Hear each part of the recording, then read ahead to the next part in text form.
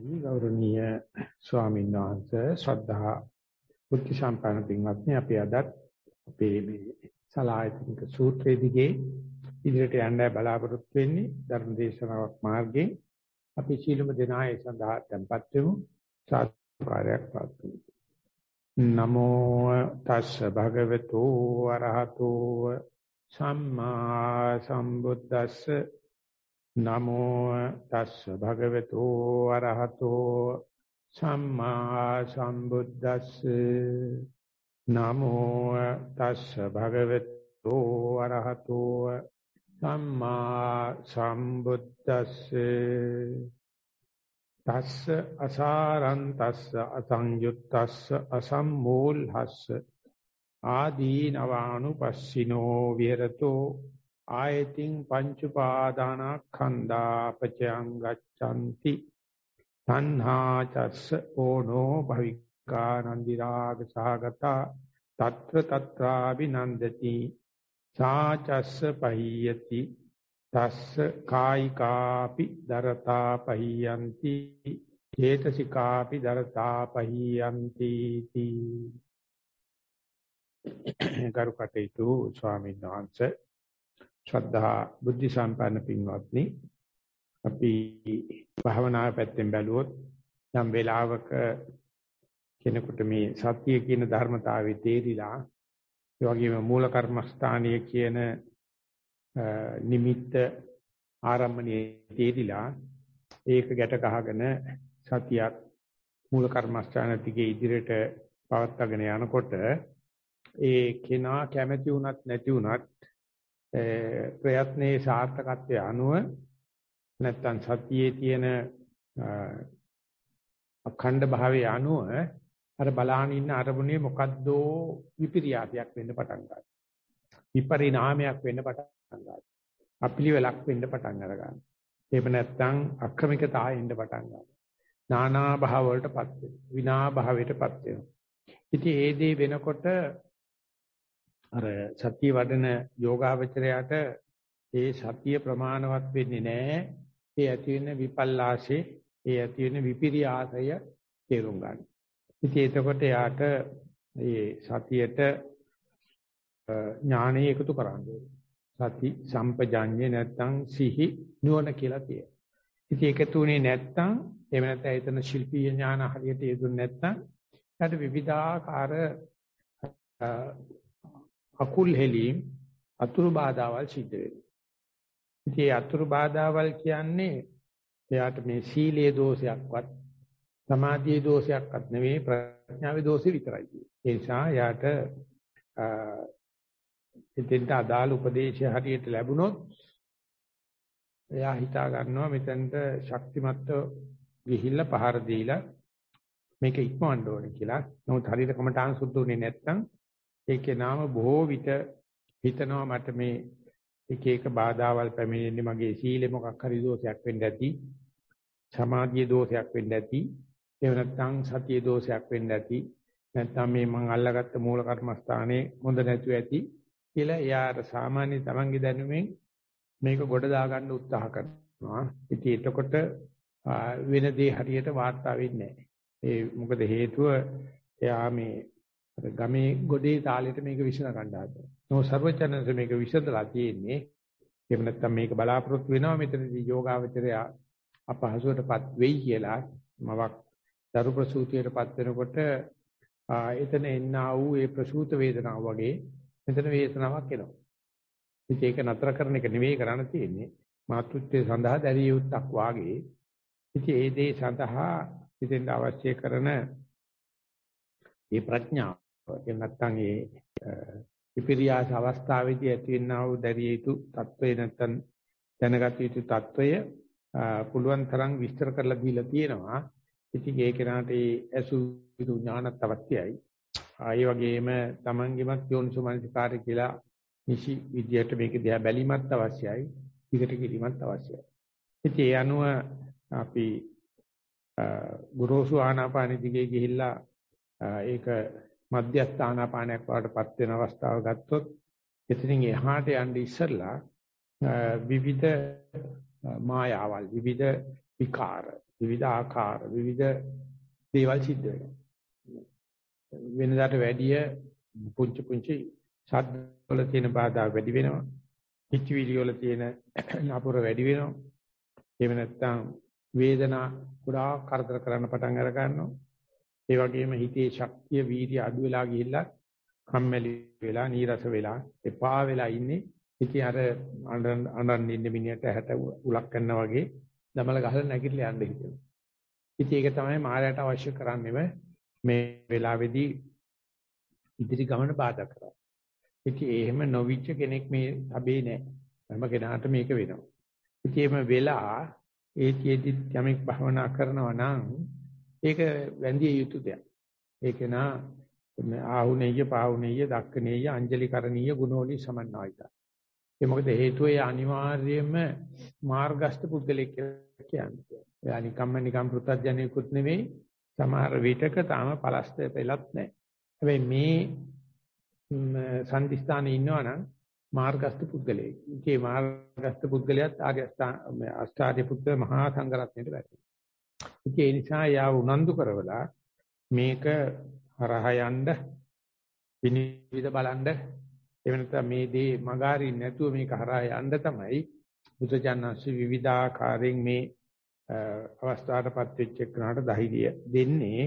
ඉතින් අර ඒ වෙලාවට මතුවෙන බාධක කරදර වලට පොහොර දාන්න නැතුව ඒව ගැන විතක්ක කර කර ඉන්නේ නැතුව ඒව ගැන ප්‍රපංච කර කර ඉන්නේ නැතුව වෙච්ච වැරද්ද. හැබෑව නමුත් පුළුවන් තරම් ඉක්මනට ආයශරයක් අර Taman කරගෙන ගිය මූල කර්මස්ථානටම නැත්නම් අපි කිව්වොත් ආරම්මණයටම නිමිත්තටම එහෙම නැත්නම් කයටම හිත ගන්න පටන් ගත්තොත් ඒක ඒ කමඨහන ඇහිච්ච කෙනාට උනත් තේරෙනවා.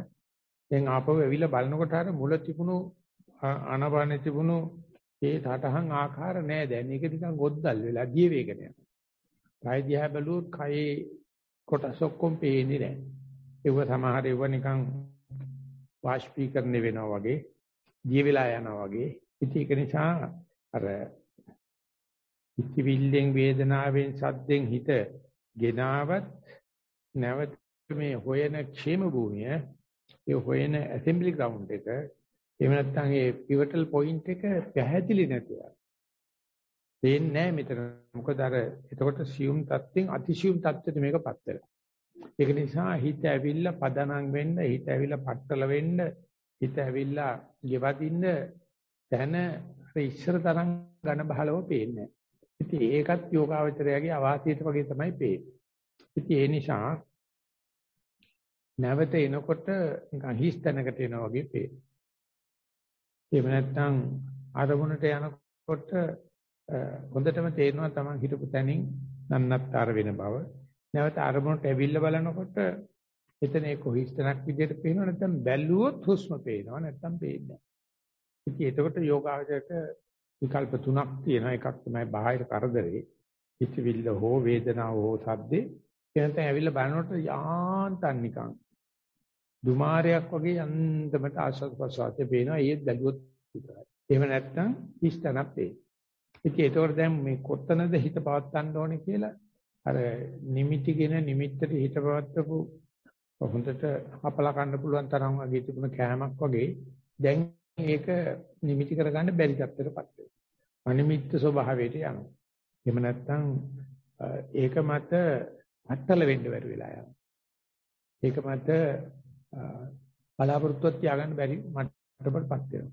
ඉතින් එතකොට මේ යෝගාවචරයාගේ මානසිකත්වයේ නැත්නම් අපි කියමු යෝගාවචරයාගේ සක්කාය දිට්ඨිය කියලා. නැත්නම් මේ මම කියාගෙන හිටපු ඒ දැන් මේක තියන්න තැනක් නැහැ. මේ පැත්තට ගියොත් බාහිර අරමුණක්. ඒක අට්ටි යටි හරායති ජගුච්චති ඒක වෙන හඳනේ කොහොමද නැහැ. එතකොට නූපන්න කුසල් උපදිනවා. ඒ වෙනකොට දැන් ගෙදෙට්ට එන්න හදනකොට නැත්නම් මූල කර්මස්ථානට එන්න හදනකොට එහෙම අර යනකොට තිබුණ තරම්වත් පදනම නැහැ. තවත් දුර වෙලා. ඒකම ඊළඟ නීතිය සමහරු හයියෙන් හුස්ම ගන්න යනවා. ඒ අර පදනම තහවුරු කරගන්න. එහෙම නැත්නම් අත කාලා බලන්න යනවා අතපය කෑලි ඔක්කොම කියනවා කියලා. එහෙම නැත්නම් හිත මේ මොනවත් නැහැ කියලා නිින්දට වැටෙනවා. අපි ඒකට කියනවා මේ අවස්ථාවේ වෙන එකට කියනවා හිත සංගවි ගන්නවා කියලා. මොකද ඇවිල්ලා වහන්න අත්තක් නැහැ මේ කුරුල්ලට දැන්. ඉතින් අන්නේ தත්තෙට එනකොට ඒකේනා මේ තමන් අරමුණු කරගත්ත මේ නිමිත්තේ තියෙන අසාරන්තස ඒක අල්ලගන්න ඒක මට සරණක් පිහිටක් ආධාරයක් දැන් දී ගන්න බැරි තත්ත්වයකටපත් වෙනවා. ඒකේ ආදීනව පේන්න පටන් අරගන්නවා. ඒ වගේම සම්මෝහයකටපත් වෙනවා මේ ලස්සන මේ තිබිච්ච එක තමයි පොඩ්ඩක් යහට ගිහිල්ලා එළ බලනකොට දැන් ඒක ඇත්තේ නැති නැත්තේ නැති තත්ත්වයටපත් වෙනවා. හිත නිකන් අංජබජල් වෙනවා. තෝන්තුවටපත් වෙනවා. ඒ වගේම ආශාවෙන් මම මෙතෙන් ගොඩ එනකම්මට සත්‍ය ගන්නකෝ අරමුණ ඒ වගේම සම්පජඤ්ඤය ඇති කරන්න හේතු වෙච්ච අරමුණ දැන් එහෙම දෙයක් ඒකේ සටහන් ආකාර දුර්වල වෙන්න පටන් අරගන්නවා. ඉතින් ඒක නිසා මේ යෝගාවචරයට එන මේ අසම්මූල භාවය එහෙම නැත්නම් මේ ඔළුව අවුල් වෙන භාවය යෝගාවචරයට තමන්ගේ මූල කර්මස්ථානයේ ආදීනවානුපස්සනාවෙන් තේරුම් අරගන්න පුළුවන් වෙනවා මේ අරමුණත් හොඳට ගොරෝසුර තිබුණ එක තමයි. ඒක තමයි දැන් ওই ටික assume වෙනකොට තමයි මේ එක එක නරිවන්දන් එක එක নানা ආකාර ප්‍රශ්නෙන්න පටන් ගත්තේ. ඒක හරහා ගිහිල්ලා නැවතත් අරමුණටම ඇවිල්ලා වහන්න හදනකොට ඒකේ ඉන්න තැනක් නැහැ. läග ගන්න තැනක් නැහැ. ඉතින් අන්න ඉතින්ද යනකොට තේරෙනවා මේ Taman මේ ලෝකේ අම්මා අප්පා එහෙම නැත්නම් නිශ්චල වස්චංචල දේවල් අතහැරලා ප්‍රිය වස්තු අතහැරලා ගිහිගේ අතහරිනවා. ඉතින් මේ අතහැරියාට පස්සේ ඒ මෙන්න ආරණ්‍ය වේවා රුක්ක මූලේ වේවා ශූන්‍යාකාරේ වේවා ගෙදර තරම්ම පහසුකම් නැහැ නේ. නමුත් කමක් නැහැ කියලා ඒ ඊවල දොර අතහැරලා ඒ අරගෙන ආරණ්‍ය අබිරමණය කරනවා. අබිරමණය කරන්නේ බුද්ධ ශ්‍රද්ධාවෙන් ධර්ම ශ්‍රද්ධාවෙන් සංඝ ශ්‍රද්ධාවෙන් සීලේ ඊට පස්සේ අපි ආරණ්‍ය හිටියට හරියන්නේ නැහැ කියලා කයට හිත ගන්න. එතකොට අර gedara dore හිටියට වැඩිය ආරණ්‍යයේ ප්‍රත්‍යදුකගා හිටපු කය හිතට කය අරමුණු කරනවා කියන එක හරිටත් වැඩිය මයින්යක් ගෙනලා කූඩුවට දැම්මා වගේ මිහරකේ කුළු මිහරක ගෙනලා ගම්මැද්දක බැඳගත්තා වගේ හරි අමාරුවටපත් වෙනවා. නමුත් අමාරුවටපත් වීමේ අපහසු තියෙනවානේ. කාය දරත, කාය පරිලාහය. මේ කාය ඇතුලේ නිකන් උඩත් කටු බිමත් කටු කිය. නැත්නම් ඒක හොඳ සංඥාවක්. එයාට මම දැන් ගිහි අතහැරිවට සංඥාවක්. අරණ්‍ය අතහැරපුවට සංඥාවක්. නැත්නම් මේ කැම්පස් එක අතහැරලා දැන් තියෙන්නේ. කයයි තියෙන්නේ. නමුත් කය දරතයක්. ඒ කයක අර බලාපොරොත්තු වෙච්ච තරම් සුන්දර ස්ථානයක් නෙවෙයි. ඊට පස්සේ අපි හිතමු මේ කයේ තියෙන ආනාපාන කයට ආස්වාද ප්‍රසවාස කයට හිත දානවයි කිය. ඒකට අපි අර මුළු කයේ නාසිකාග්‍රේ කියන එක තැනට හිත දාන. ඒකට අරිද්දත් තබන් ලෝකයක් ඇවිද ඇවිද හිට අරණ්‍යයක් පුරා ඇවිද ඇවිද හිට පිට කයක් පුරා ඇවිද ඇවිද හිට පිට හුස්මට දැම්මට පස්සේ ඒක හරිය නිකන් කඹේ ඇවිදිල්ලක් වගේ තනි රේල් පිල්ලක ඇවිදින්න වගේ නැත්නම් වතුරක පීනන්න වගේ හරි වෙහෙසකටපත් වෙනවා.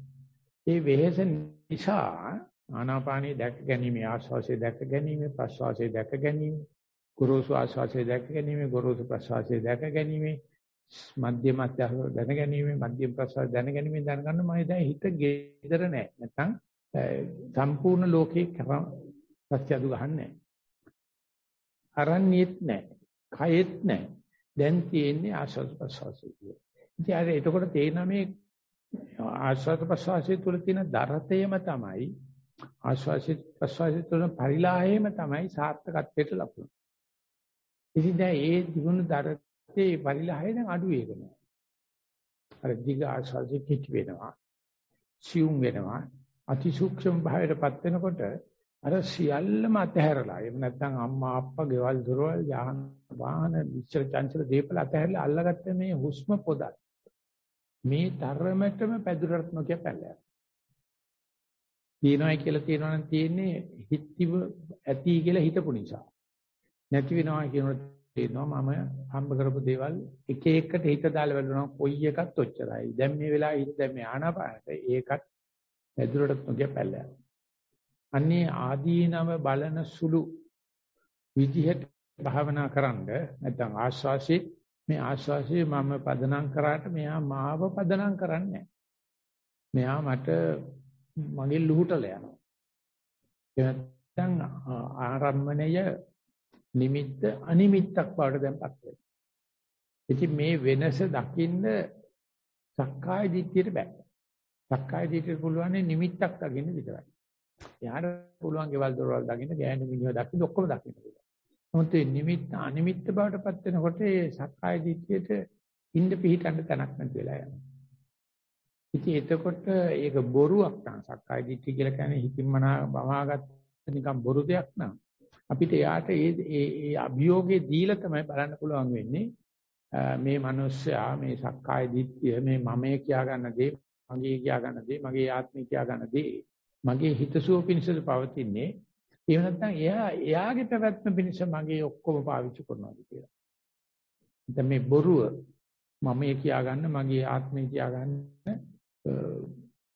මම කියා ගන්න මේ දේ මාවත් කරත්තේ බැඳගත් අහරකෙක් වගේ පාවිච්චි කරනවාද මම ඒකට කඹරනවාද එහෙම නැතු ඒක මේ විදිහට පදනම නැති කරලා දි รา ගෙන ජීවීගෙන යනකොට එයාට මොකද වෙන්නේ කියලා බැලුවොත් නොතිබිච්ච සක්කාය දිට්ඨියක් නම් හිතින්ම වාගත්ත සක්කාය දිට්ඨියක් නම් යෝගාවචරයට තව ටිකක් ඉදිරියට යන්න පුළුවන් මේක. එහෙම නැත්නම් සක්කාය දිට්ඨිය බලවත්ව පවතින කෙනෙකුට සයිකියාට්‍රික් ප්‍රශ්න මතුවේ. කාය ආශාව තියෙන කෙනාට මානසික කායික ආශාව නිසා ඉදිරියට ය아가න්න බැරි වෙනවා. ජීවිත ආශාව තියෙන කෙනාට මේ අනාත්මයි කියලා කියනකොටම දරා ගන්න බැරි වෙනවා. ඉතින් ඒක අපි හැම කෙනෙක්ම අත්දකලා තියෙනවා. අත්දකින්නවා. භාවිතත් අත්දකින්නවා තනියමත් අත්දකින්නවා. අන්නේ ටික වින්දාට පස්සේ තමයි කෙනෙක් හිතන්නේ මෙතෙක්කල් මේක අම්මා අප්පා අතහැරලා දැක ගන්න ගියාට මේ සක්කාය දිට්ඨිය එහෙම දෙයක් නැහැ. ඒ නැති දේ රකින්න කියන නිසා තමයි මේ දරත පරිලහ තියෙන්නේ. දැන් මේ අවබෝධ කරනකොටත් ඒ දරත පරිලහ එනවා. ඉතින් ඒක මේ මහායාන වගේ පොත්වල පෙන්ලා දීලා තියෙනවා. මේ වගේ ගොම්මන් වෙලාවක අපි අරන්නේ ගාරි කොහරි ඇවිදිනකොට පාරේ මැද තියෙන කෝටු කෑල්ලක් දැකලා පාරට අපි බය වුණොත් සර්පෙක් කියලා අපි ඊවර කීපයක් පිටිපස්සට පයින්නවා. තව පොඩ්ඩෙන් පා ගන්න තියුනේ පෑගුණා නම් මේ කමාව කනවා. විසකෝර සර්ප කියලා පිටිපස්සට පැල්ල බලනකොට ඒක නලියන්නේ නැහැ. බලාගෙන ඉන්නකොට මේ මේ මුලක් ඒක කෝටු කෑල්ලක්.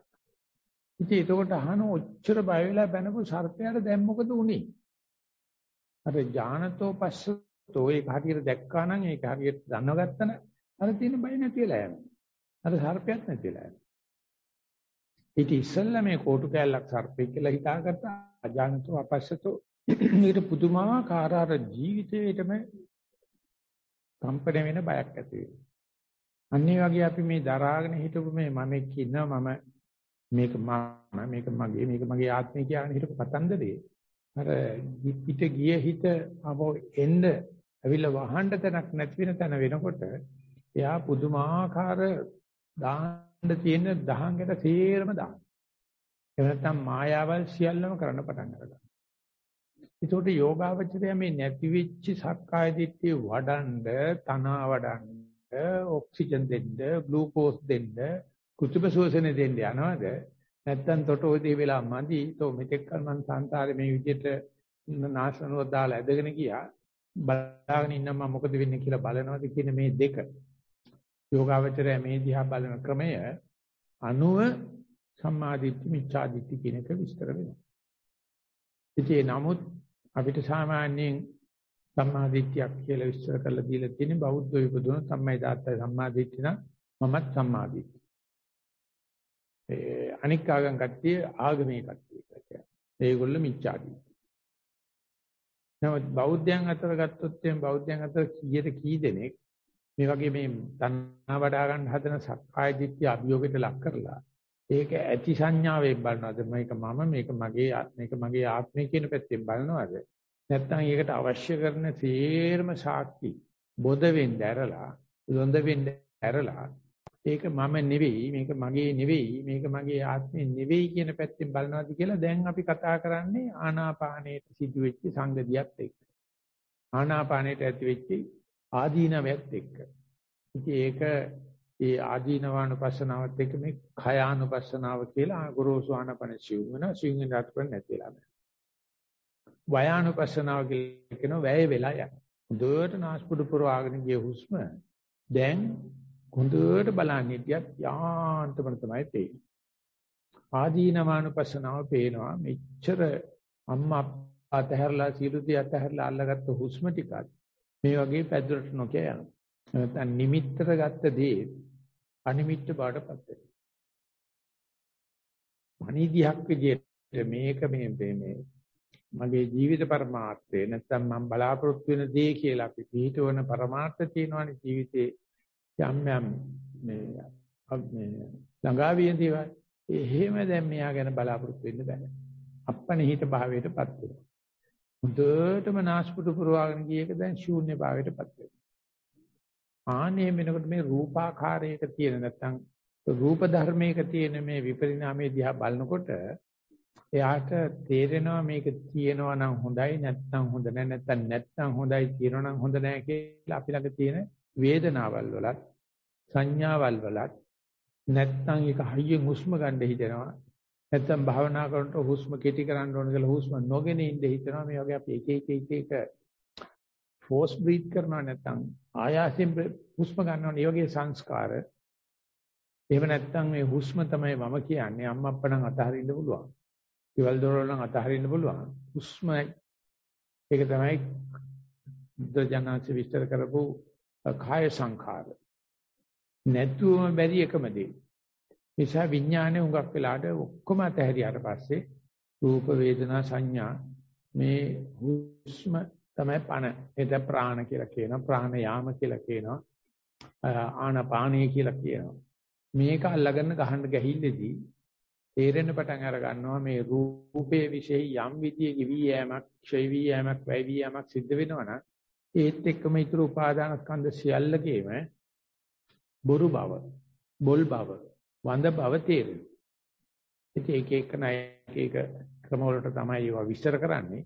නමුත් මේ එකක් ඉවර කරගෙන ගියොත් ඒ මම දවලුත් උත්සාහ කරා එක කියන්නේ එතකොට එයාට ඒ අනබනේ ගෙවි යන හැටි සාර්ථකව බන්න කෙනාට එන වේදනාවක වුණත් හරපද්ධතියක් නැති බව තේරෙනවා. වේදනාව දිහා බලන්න ඉන්න පුළුවන් වෙන්නට. ඒ වේදනාව ඉතාමත් මේ නපුරුයි. ඉන්ෆ්ලික්ටිව්. බලාගෙන ඉන්න පුළුවන්. ඒ වගේම සද්ද ඇහෙනවා. මේ සද්ද බාධායි තමයි. මේ වෙලාවේ පේනවා බාධා කරගන්න පුළුවන් නොකර ගන්න පුළුවන්. මේ ශබ්ද මං මට කතා කරනවා නෙවෙයි. මට කතා කරනවා නම් බාධාවක් තමයි. ඇහුනට නැහුණා වගේ ඉන්න පුළුවන් ගතිය. සමහරුන්ට හිතවිලි එන්න පටන් ගත්තාම අතෝරක් නැතුව හිතවිලි එනවා. මේ ආනාපානයේ සංසිඳීමක් සිදු වෙනකොට අර හිතවිලි කඩ කඩ වෙලා ඔබ මේ එක දිගට යන කතන්දරයක් වගේ පේන්නේ නැහැ.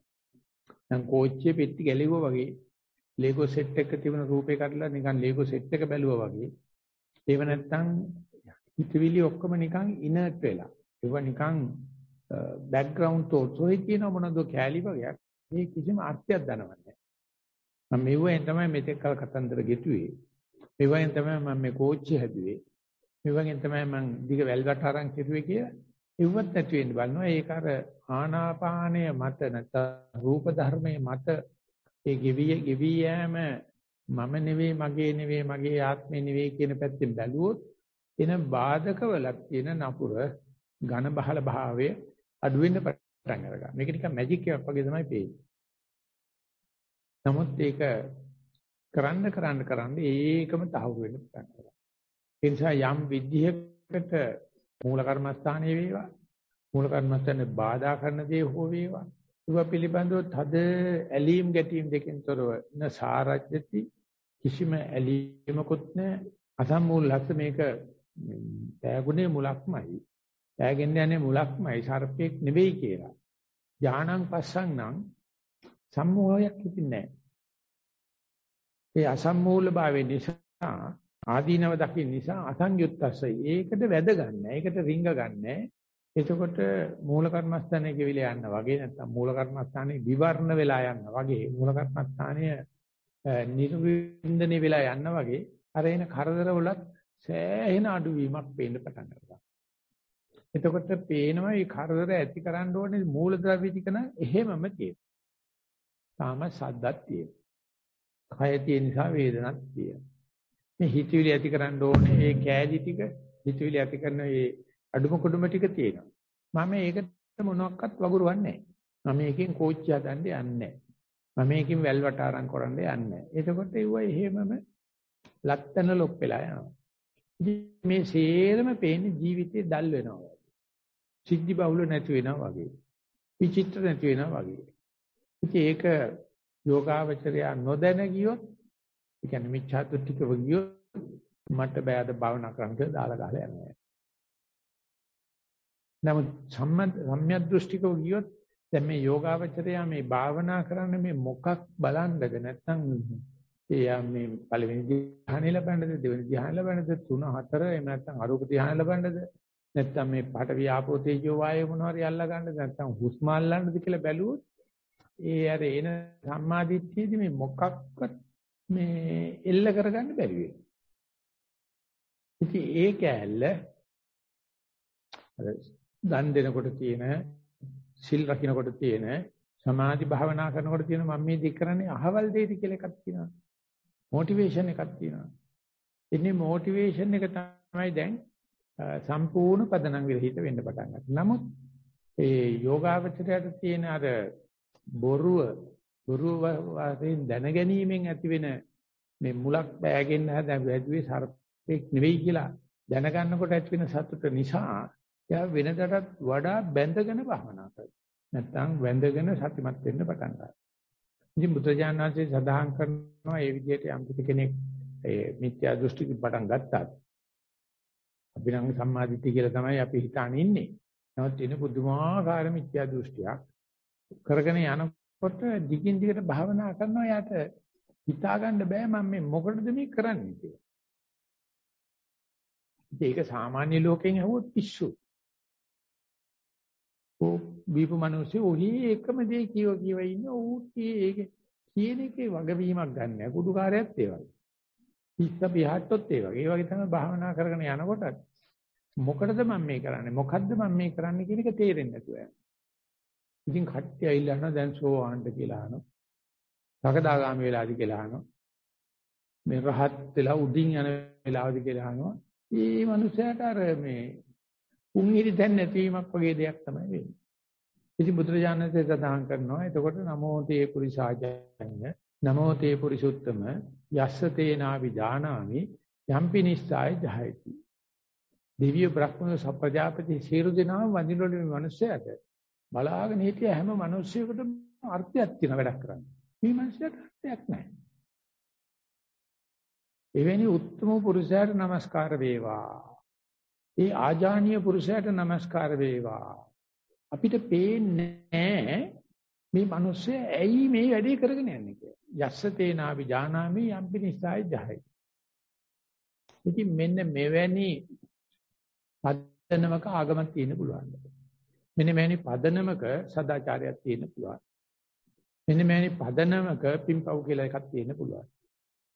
ඉතින් ඒ නිසා කවදද මේ බුද්ධ දේශනාව තාමත්ම විසිතුරුව ලංකාව වගේ රටවල් වල අවුරුදු 1000ක් විතර කල් තිබිලා මේක ගිලිහිලා ගිහිල්ලා මේක දැන් කරන්න බෑ මත බුදු වෙන මෛත්‍රී බුදුහාමරෝ බලන්න ඕනේ.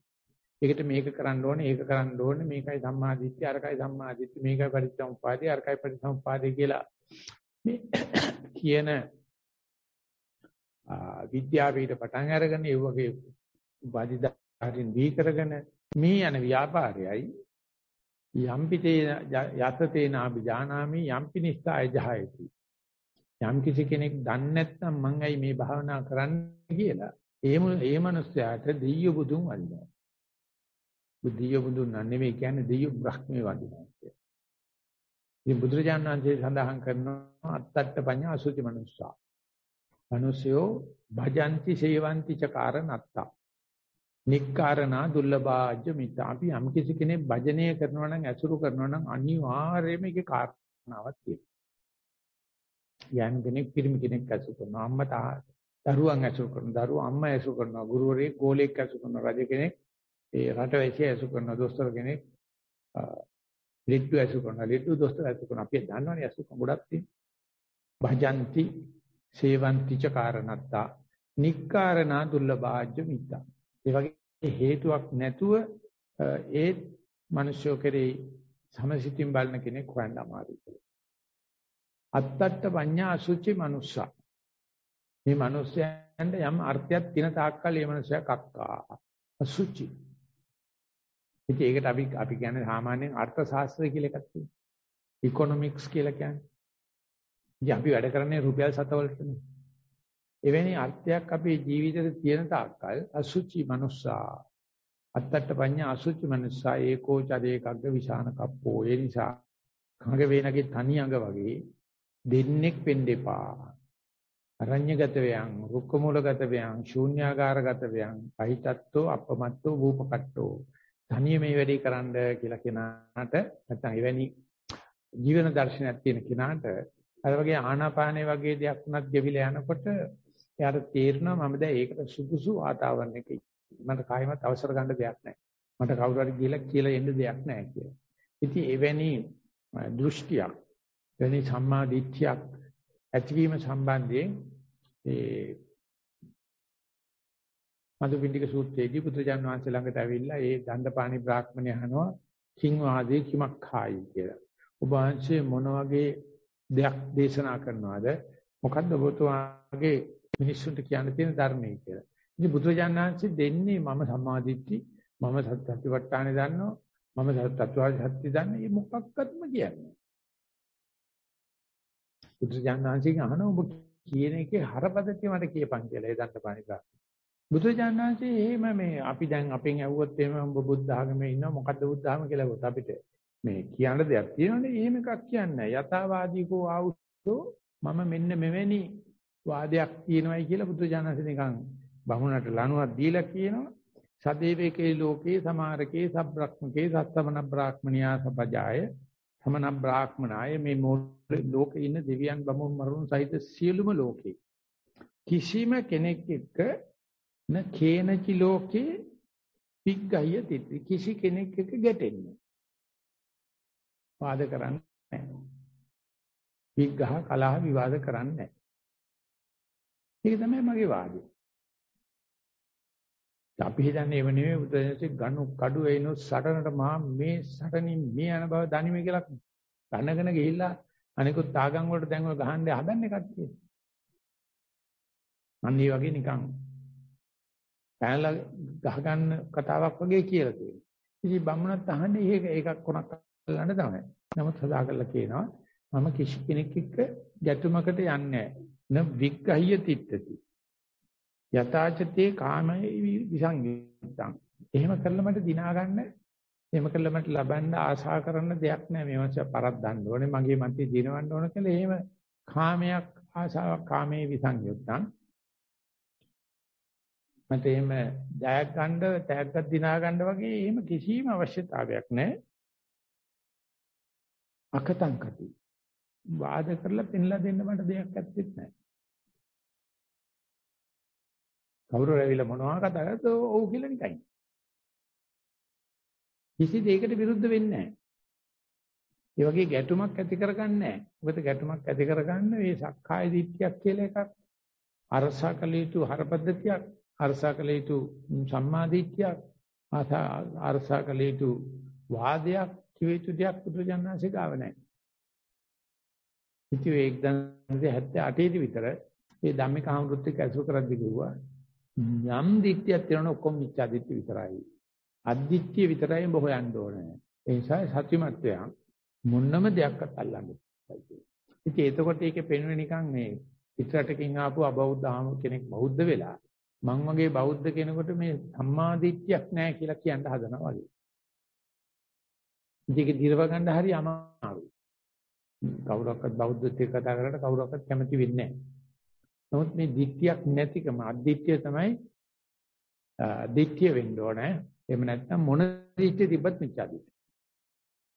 ඒක හරියට අර මුලක් දැකලා සර්පෙක් කියලා හිතාගත්තා වගේ එකක් තමයි එතන තියෙන්නේ. ඒක නිසා මේ බමුණට බුදුජාන සඳහන් කරලා තියෙනවා මට සැකේකුත් නැහැ මම මේ කියන දේ ගැන. මේ ඔබට මේ මට කියන මට තේරෙනවා ඔබට කියලා දෙන්න තේරෙන්නේ නැහැ කියලා එහෙම සැකකුත් නැහැ. අකතං කති චින කුක්කුච්චං. බබා භවේ විතරාගී. මට මේ ඊගා මොහොතේ මේ බවටපත් වෙන ඊගාවත් මෙහෙම වෙන්න ඕනේ කියලා. එහෙම මේ කෙනෙක් වෙන්න becoming එකක් ඇත්තෙත් නෑ මට. දැන් අපි හැම වෙලාවෙම මේ භාවනා කරුවට පස්සේ ගෙදර යනකොට අසවලා බවටපත් වෙන්නම් කියලා වගේවත් අදහසක් තියෙනවනේ. නැත්නම් විශ්වවිද්‍යාලයට යන ශිෂ්‍යෙක් නම් මේ ග්‍රැජුවේට් වෙන්න. හිත නැත්නම් ග්‍රැජුවේටඩ් කෙනෙක් නම් පෝස්ට් ග්‍රැජුවේට් වෙන්න. එහෙම හැම කෙනාටම තියෙනවනේ. ඉදිරියට යන්න මේ එල්ලයක් එහෙම එකක් නැහැ. ඒ කියන්නේ භවා භවේ විතරාගී. මේ වර්තමාන මොහොතෙන් පිට ඊගාවට අදා භාවන මේ අනාගතයේ පිළිබඳ ප්‍රක්ෂේපණයක් නැහැ. ඉතින් අපි මේ ප්‍රක්ෂේපණය හරහා තමයි ඕනම කෙනෙක් නව නිර්මාණ ශිල්ප ගැන අපි උනන්දු කරනවා. ඒ ප්‍රක්ෂේපණය හරහා තමයි අපි මේ ප්‍රොඩක්ටිවිටි නිෂ්පාදන භාවයකට නැත්නම් නව නිර්මාණ ශිල්ප වලට යන්න හදන්නේ ඉස්සරහට තියෙන වැඩක් ගැන තමයි. නමුත් වර්තමාන මොහොතේ 100%ක් සම්පූර්ණ නම් එයාට මේ පිච්ච අනාගතය ගැන පශ්චාත්තාප වෙන්න ඕනේ නැහැ. පශ්චාත්තාප වුණා නම් වර්තමාන මොහොතේ සම්පූර්ණ වෙන්න බෑනේ. අනාගතය පිළිබඳව මොනවාරි මට මේ දෙයක් මේ දෙයක් මේ කෙනෙක් බාටපත් වෙන්න ඕනේ කියලා. එහෙම ඉස්සරහට යන්න එහෙම නැත්නම් අනාගතේ මේ භවා භවේ විතරයි. සංඥාන ආනුසෙන්ති. මේ වර්තමාන මොහොතේ මතකයක් මොකුත් නැහැ. අතීත මට කියන කතා කරන දෙයක් නැත්තේ නෑ අනාගතය ගත කරන දෙයක්වත් නෑ වර්තමානයේ නෑ ඉතින් දැන් කාලේ කියනවා උන ඩිමෙන්ෂියා ඇදලා කියලා කියේ. එහෙනම් අල්සයිමර් ඇවිල්ලා. උපස්ථාන කරන එකට බාප්පා කියලා කතා කරනවා. බාප්පා ආපුවාම මල්ලි කියලා කතා කරනවා. අංජ බජයි. දිලිරිය. ඒ කියන්නේ සංඥාවල් මොනවත් නැහැ.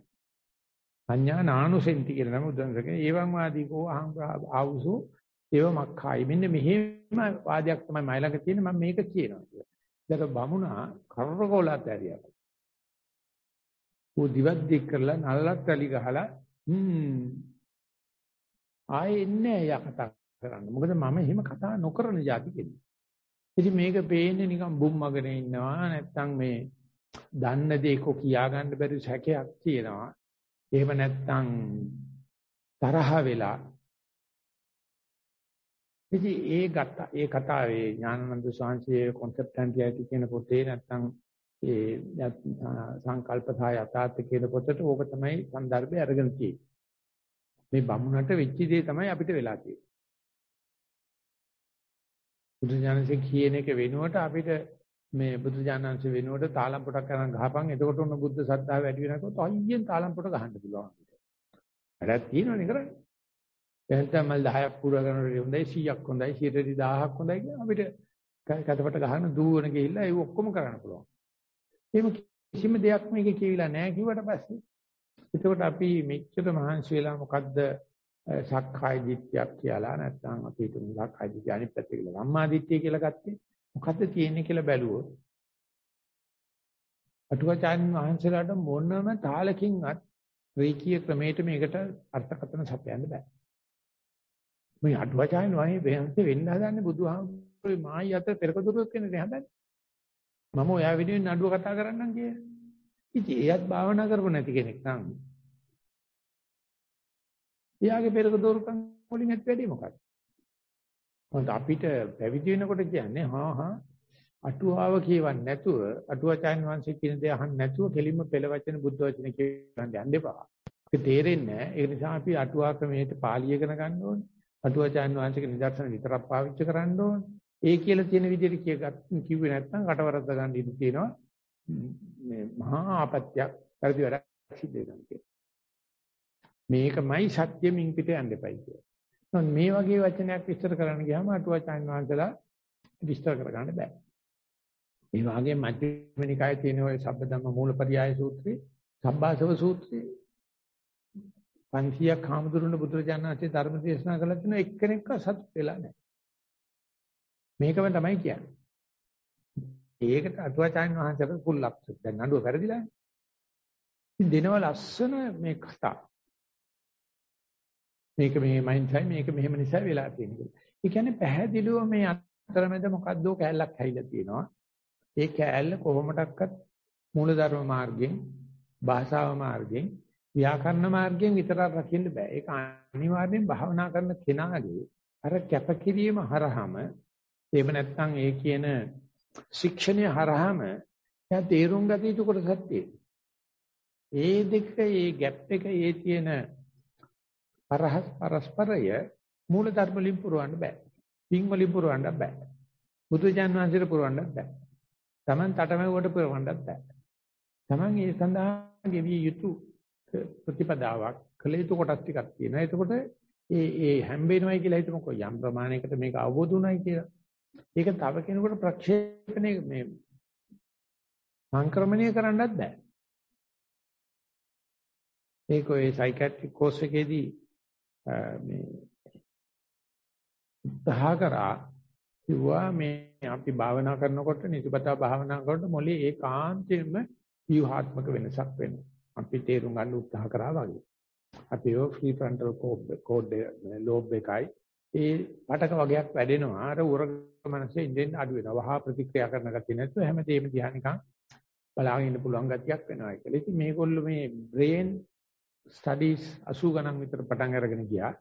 ඊට පස්සේ බැලුවා මේ මේ කට්ටිය හිතුවේම මේ මොලේ තමයි මනස කියලා. නමුත් තේරෙන්න පටන් අරගත්තා මේ හැම ස්නායු ශෛලයක්ම හැම ශෛලයකම වෙනසක් වෙනවා කියලා. ඊට පස්සේ බැලුවා හැම ශෛලයකටම මොලයක් තියෙනවා න්‍යෂ්ටිය කියලා. ඒ න්‍යෂ්ටිගත වෙනසක් වෙනවා. ඒ න්‍යෂ්ටි ඔක්කොම තත්ත්ව මේ තොරතුරු ගැප් වෙලා තියෙන්නේ ඒ ක්‍රෝමසෝම්ස් වල. ඒකේ දෙපැත්තේ මේ හෙල්මට් දෙකක් දාලා තියෙනවා වගේ මේ බ්ලැක්බර්න් කියන ඕස්ට්‍රේලියන් ලේඩි කෙනෙක් තමයි දැනගත්තේ භාවනා කරනකොට ඒ භාවනා කරන එක්කනාගේ අර දෙපැත්තෙන් තියෙන තොප්පිය නැත්නම් හෙල්මට් එක වැඩෙන්නේ නැහැ. ඒක දුර්වල වෙන්න පටන් ගන්නවා. ඒ තොප්පිය වැඩෙන්න වැඩෙන්න තමයි නාකි වෙන්නේ කියලා. භාවනා නොකරන එක නාකි වෙනවා.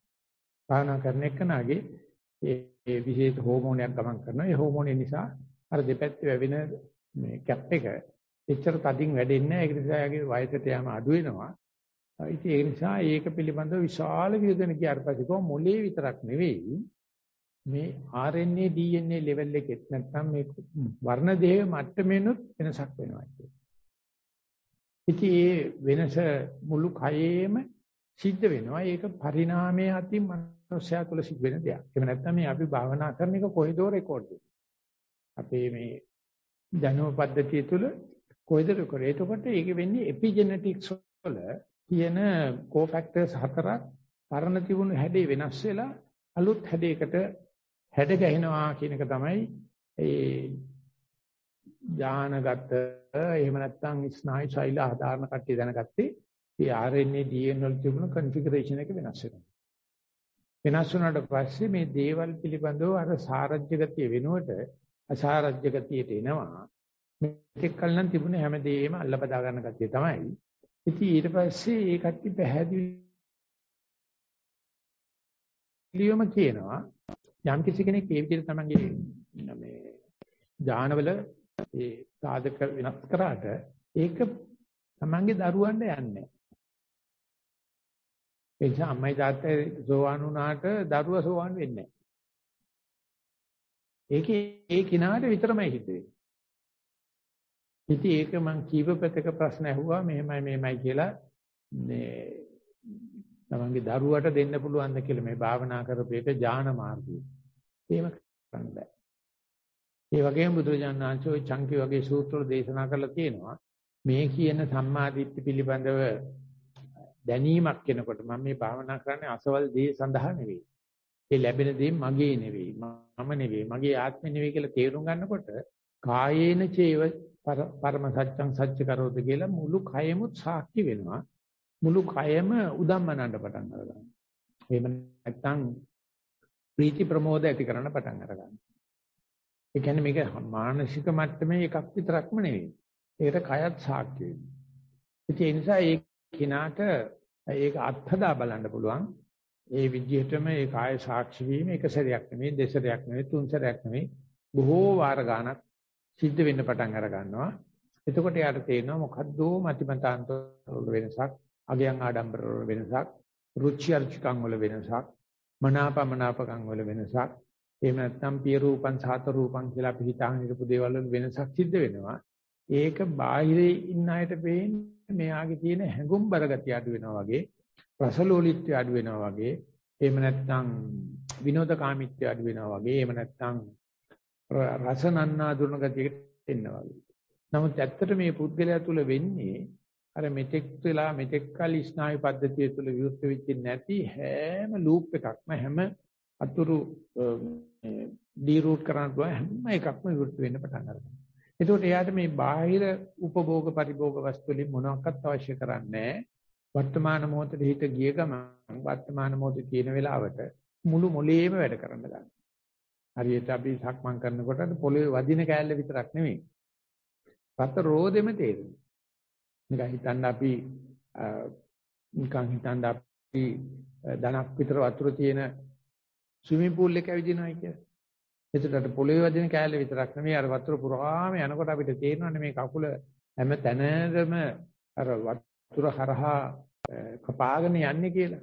එහෙම නැත්නම් අපි ඇවිදිනවා නෙමෙයි බයිසිකල් අපදිනවා කියලා හිතන්න. ඒකට අපිට තේරෙනවා මේ පැඩල් එක නිතරම කකුල ගෑවි ගෑවි තියෙන්නේ.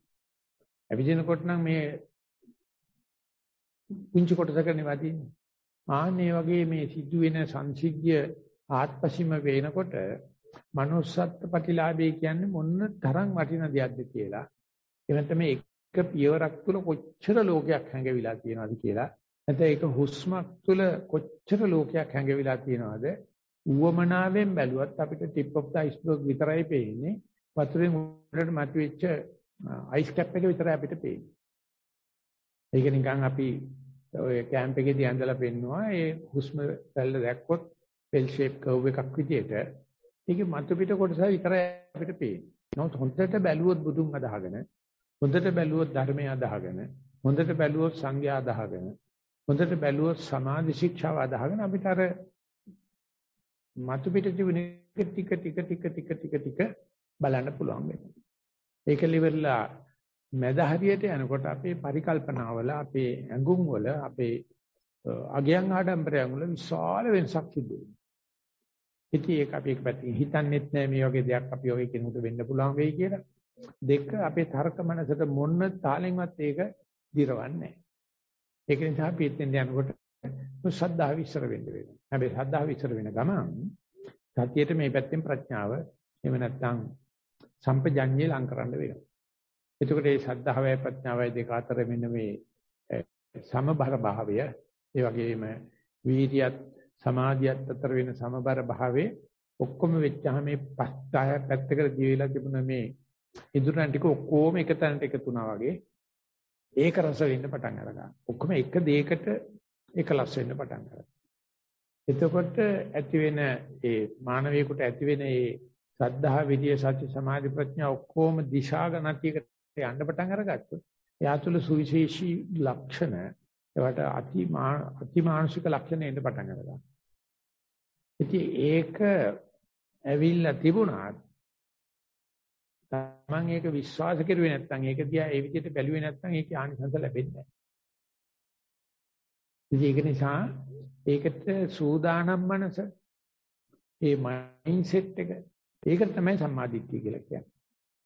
අපි මෙතෙන් එනකොට ළඟා කරගෙන තියෙන නැත්තම් කපල තියෙන කෙලස් ප්‍රමාණය මෙච්චරද කියලා අපි ඒ දෘෂ්ටි කෝණයෙන් බැලුවේ නැතිව මයිලක මෙච්චර කෙලස් තියෙනවද කියන පැත්තෙන් බැලුවොත් ඒ කෙලස් ටික මුළු 100 100ම පහල කරනවා. නමුත් අපි මේ වෙනකොට සෑහෙන දුර ඇවිල්ලා තියෙනවා. අනේ ඇවිල්ලා තියෙන එක දිහා මම කරපු දෙයක් නෙවෙයි කවුරු කෙරුවත් ඕක තමයි වෙන්නේ. අන්නේ පැත්තෙන් බැලුවොත් අපිට මේ ඉස්සරහට එන්න තියෙන අභියෝග වලට ඉස්සරහට එන්න තියෙන දර්ථ පරිලාහ වලට සාර්ථකව මුහුණ දෙන්න පුළුවන් ගතියක් තියෙනවා. ඒක තමයි මේ යෝගාවචරයක් තුළ ඇති වෙන ඒ පෞරුෂත්ව ශ්‍රේෂ්ඨත්වය කියලා කියන්නේ එහෙම නැත්නම් තපස කියලා කියන්නේ වීරිය කියලා කියන්නේ සබ්‍රහ්මචාරින් වහන්සේලා කියලා කියන්නේ ශ්‍රමණයයි කියලා කියන්නේ එතකොට ආයේ පස්සට යන ගතිය නෙවෙයි තියෙන ඉස්සරහට යන ගතිය ඉතින් ඒක නිසා මේ සම්මාදිට්ඨිය ඇති වෙනවත් එක්කම මේ සම්මාදිට්ඨිය මේ මගේ සම්මාදිට්ඨිය එහෙම එකට වැඩිය ධර්මතාවයකින් ඇති වෙන එකක්. ඒකට නිකන් නිදර්ශනයක් වශයෙන් කියනවා නම් ඒ සම්මාදිට්ඨිය ඇති වෙලා රහත් වෙලා බුදු වුණත් අර විදිහටම තමයි භාවනාව කරගෙන යන්නේ. ඉතින් අපි නම් සාමාන්‍යයෙන් ඔය ඇඩ්වාන්ස් වල පාස් වුණා නම් ඒ පොත් ටික අල්ලලා විසි කරනවනේ පේන්නේ නැති තැනකට නැද්ද මේ මගුලෙන් තමයි ඔක්කොම උනේ කියලා ඇඳ යටට තල්ලු කරන්නේ. අය පේල් වෙයි කියලා හිතන්නේ නැහැ. පේල් වෙච්චාම ආයෙලේව කාගෙන ගිහලා ගන්න වෙනවා. විසි කරන්නේ එපාම වෙලානේ. ඊට පස්සේ යුනිවර්සිටි පාස් අවුට් වුණාට පස්සේ ඒ ඒ ඒ පොට්ටනියක් ඉවරයි. ඕනේ නැහැ. මොන වරදි වරදද මේ අයිසෙක් නිව්ටන්ලට ඩාවින්ලට තිත්තකුණු වරෙන් බයින්නේ කාලේ මේ පර 70 දීලා කාලා බුදියාගෙන හිටියනම් ඔය මොන මගුලක්වත් නැහැ. මම මේවා ඉගෙනගෙන ඇවිල්ලා අපිට උගන්වලා මෙව කටපාඩම් කරන්න ගිහිල්ලා ඉතින් ඒව ලිව්වට පස්සේ ඉතින් ඌත් ඉවරයි. ඔක්කොම ඉවරයි. මේකේ එහෙම එකක් වෙන්නේ නැහැ. මේකේ එහෙම එකක් වෙන්නේ නැහැ. භගවත්යන් වහන්සේ සර්වඥතා ඥානෙ ලැබුවට පස්සේ ඊකට භාවනා කරගෙන ගියා. ඒ මොකද මේ ලැබපු දේ මගේ කියා ගැනීමක් නෑ. මොකද ඒක තමයි ලීස්ට් ෆ්‍රික්ෂනල් පාර්ට් එක. කරදර අඩුම පාර්ට්. අපි දැන් කරන්නේ මේ අවුරුද්දකට දෙක සැරයක් දවස් හතක් කරන කරලා ඊටසේ ගෙදර ගිහිල්ලා ආයෙ අනනවනේ. එතෙන් දවසේ කොච්චරලා භාවනා කරුවද කිව්වොත් විනාඩි 5 10ක් කරනවා. අනික් වෙලාවල් වල නමුත් දන්නවනම් ඒ විනාඩි 5 10 විතර ඉඳගෙන භාවනා කරන මේ හැම පැය 24ම සතිය තියෙනවා කිය. කොච්චර සතුට වේද කියලා බලන්න. හැම වෙලාවෙම සතිය තියෙනවා. අපි බුරුමේ ඉන්න කාලේ අපි මේක කාලයක් තුන මේ වගේ මෙච්චර නෑ මෙච්චර ලොකු නෑ බිල්ඩින් එක. එතකොට ඒක පාටම ළමයි 500ක් ගනලා පැවිදි කරා.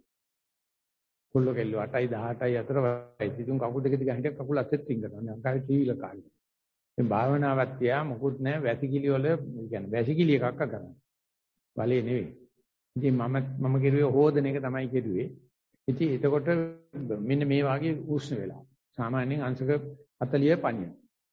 ඉතින් බඩ යන්න පටන් ගත්තාම සූ අල බඩ යනවා පරාත් පිටි. ගිනි ගන්න පටන් ගත්තාම එමෙචින් සායද වැහුවා ඒක දෙකක් විතර ගියාට පස්සේ උඹලට මේ කරදර නා මං කියන්නම් මං භාවනා කරපු ගම දැන් තම 40ක් විතර යන්න ඕනේ හැබැයි හරිය දුප්පත් ඉන්න පුළුවන් ඊට පස්සේ අපි පස් හය දිනක් තීන්දුව කෙරුවා ඔය ඉතිස්ලා අපි අවුරුද්දක් හිටියා ගියා ගියාට පස්සේ දැන් කමට හඳෙන්න කවුරක්වත් නැහැ ඒක ගමක් ඒ මිනිස්සු හරි සාදරයි එක එක රටවල මිනිස්සු එළපින්න පාත් යනවා ඉතින් අමුතු දෙයක් ඔක්කොමලා ඉවරනාට පස්සේ මාසයක් විතර යනවා ඒ වැඩේ ඉවර වෙන්න.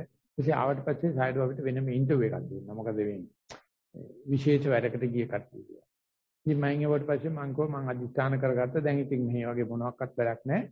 උදේ ඉඳලා හැන්ද වෙනකම්ම මොන අත්තරද්ද වුණත් මොන දේ හරි ගියත් මම සතියින් ඉන්නේ කියලා බලන්න. ඉතින් සෑහෙන සාර්ථකයි. බැලුවොත් මම ඉන්නේ සතියෙන්ද කියලා හැම මොහොතෙම සතියෙම තමයි. ඉතින් ඒක ඔප්පු කරලා පෙන්වන්න පුළුවන් කරුණුත් හම්බ වෙනවා සමහරවිට. සමහරවිට එහෙම නෑ. සමහරවිට මේ බලනවා මම සතුටුමත් කියලා හිතානින් එක තමයි. නමුත් ඒක හරි සතුටුයි.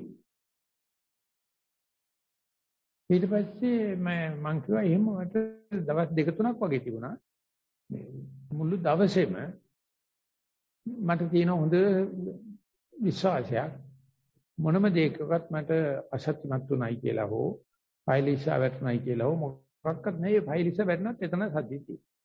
හිතියරයක් කරදයක් ආවත් එතන සතිය තියෙනවා කියන්නේ. ඊට පස්සේ සයිඩ් එක එහෙමනම් මාසෙ ගත කරාට පාඩු නෑ. මේ තමයි අර මෙතෙක්කල් ගත කරපු භවනා ජීවිතේ Tamanට Taman ගැන විශ්වාසයක් එන්නේ. ඉතින් ඒකම කටුකුරුන්ද ස්වාමීන් වහන්සේ මතක් කරනවා ඒ නිවනේ නිවීමේ දේශනාවේදී ඒ සමිදි සූත්‍රයේ සඳහන් කරනවා ඒක ධම්ම සූත්‍රයේ සඳහන් සතාධිපතිය සබ්බේ දම ඔබ දැනගත්තත් නැතත් ඔබ ඉන්නේ සතියේ තමයි. ඔකය පහුරුවක බලන්න යන්න එපා. ඒක දන්නවනම් ඒක දන්නවනම් උප්පත්තියම හම්බෙච්ච දෙයක් නෙමෙයි අපි තාම සැකේට බලන්නේ. තාමත් සැකයි මේ සද්දයක් ඇහිලා හිත පිට ගියාම සතිය නැති වෙනවද? පය හැප්පිලා වැටෙනකොට සතිය නැති වෙනවද? කවුරු ඇවිල්ලා කතා කරුවෝ සතිය නැති වෙනවද? එහෙම පාච්චල් දෙයක් නෙවෙයි සතිය කියන්නේ. එහෙම නැති වෙන්න දෙයක් නෑ ඕකේ. අන්න ඒ වගේ හැඟීමක් අරගෙන බැලුවොත් අපිට හිතා ගන්න පුළුවන් හිත පිට යනවා තමයි. හැබැයි ඔය ඇහැට ඔච්චර බැඳෙන්න එපා, රූපෙට ඔච්චර බැඳෙන්න එපා, විඥාණයට ඔච්චර බැඳෙන්න එපා, ස්පර්ශයට බැඳෙන්නත් එපා. මේ වේදනාවට බැඳෙන්නත් එමුට ඕන වෙලාවක ආපහු එන්න පුළුවන් නේ මූල කරපත්තාන. ඉතින් ඒක පුළුවන් නම් මොකද්ද ප්‍රශ්නේ? ඉතින් ඒ දේ අපිට සාහිතික වෙන්නේ නැත්තේ මොකද අපිට හරිය බයක් තියෙනවා නෑ. පිට යන්න එපයි කියලා හිත. අපි හිතන ඒක සම්මාදිට්ඨිය වෙන්නේ නැති කියලා. ඉතින් අන්න එහෙම දෙයක් කාටද විස්තර කරන්න හදන කෙනෙකුට කියලා දෙන්න ගියොත් අර මේ දණ්ඩපාණි බ්‍රාහ්මණයට වගේ තමයි වෙන්නේ. මොකද යා හිතාගෙන මෙන්න මේදී සම්මාදිට්ඨිය. මේක තමයි හික්මීම. මේක තමයි හරි. මේක තමයි එහෙම දෙයක් පලාතවත් නැහැ. ඇත්තේම නැහැ.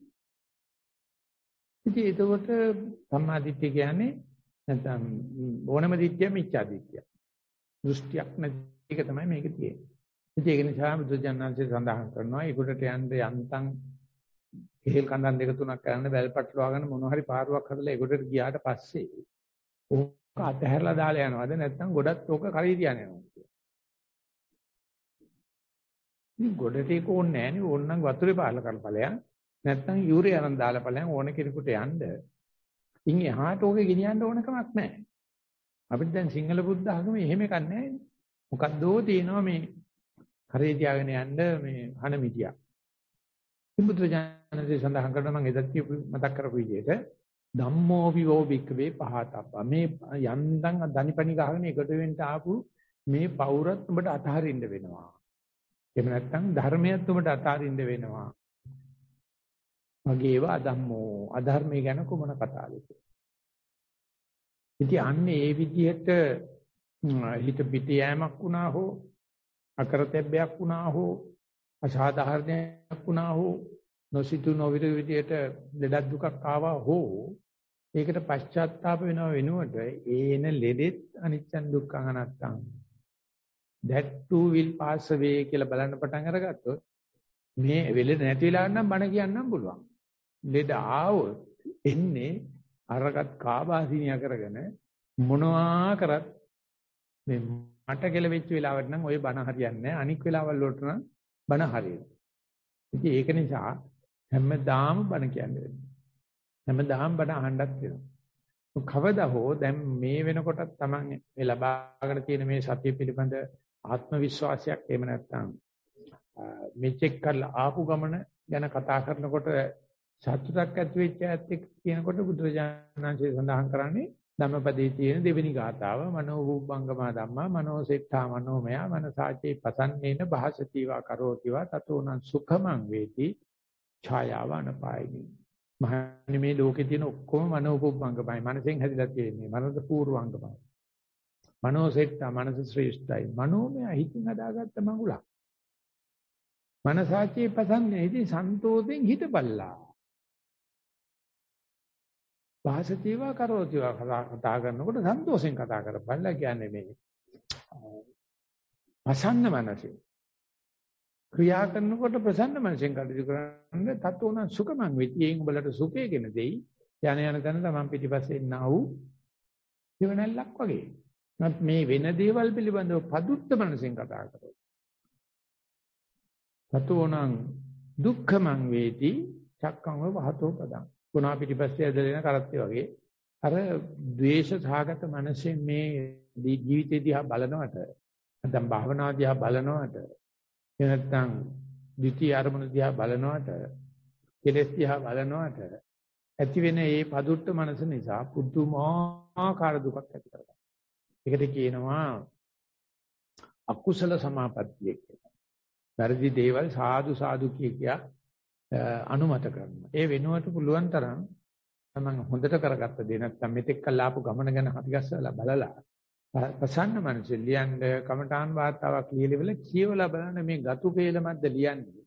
එහෙම නැත්නම් මේ වෙච්ච මෙතෙක් කරපු ආපු භාවනාවේ කොච්චරක් මේ ගැටේ ලියා ගන්න පුළුවන් වුණාද කියන පැත්තෙන් ජීවිතේ දිහා ඒ ප්‍රසන්න මනසෙන් බලන්න මේ ධර්ම දේශනාව හේතු ආසනාව වේවා කියලා ප්‍රාර්ථනා කරනවා. ශිරු දිනාට සලායතන වැටීම සිද්ධ වේවා කියලා ප්‍රාර්ථනා